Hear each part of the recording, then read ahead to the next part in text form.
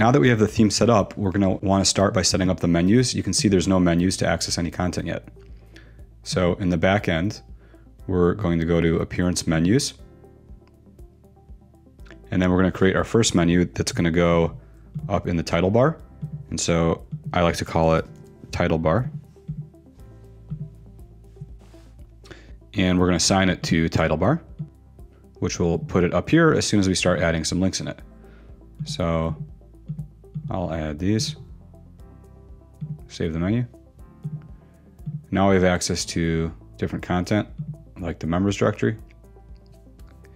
And if you want to add a sub page, you can add it and just indent it by scooting it to the right. And then you get a drop down.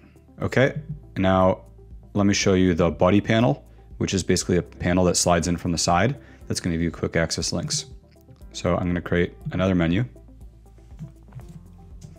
And I like to call this buddy panel just so I remember what it is. And we're going to assign that to buddy panel logged in users. And let's add some links to it. I personally like to use this area because this is only for logged in users as links that pertain to the user's profile who's logged in. So if you go into this BuddyBoss panel here, these are all logged in user links that are basically relative to, to the person who's logged in. So it takes them to their own timeline notifications, etc. So let's just add like some of these here, whichever ones make sense for your site.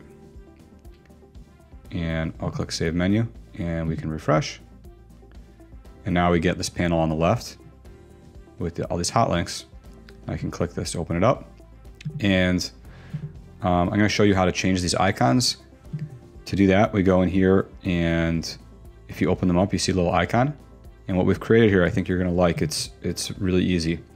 So we have BuddyBoss icon set and you can pick a different icon.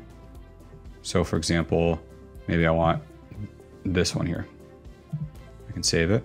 And you'll see out of the box, we gave you some icons that we think make sense. But here you can, you can save it. And we can come back here and you can filter the different kinds of icons we have available.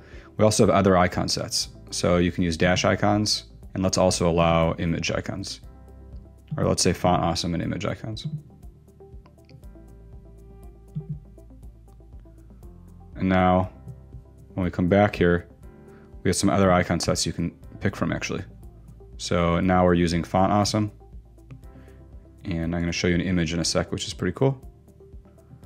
We can also go in here and you see we have SVG support too.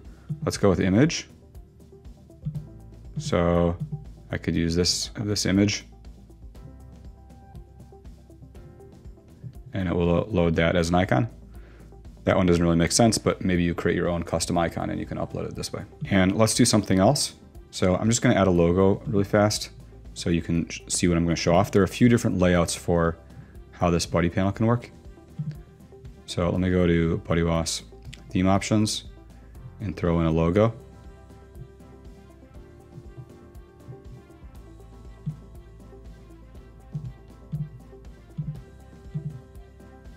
So then under header, this pertains to this buddy panel and the header in a way. So we can go this method, which will move that logo in the middle. But then we can also do this one, which is going to put the panel permanently docked open on the left and put the logo in there. This is really useful for a site that has a tall logo. So you might have a really tall logo that you want to put in this menu area and you might want to do it in here because it wouldn't have space at the top. So that's everything for this tutorial.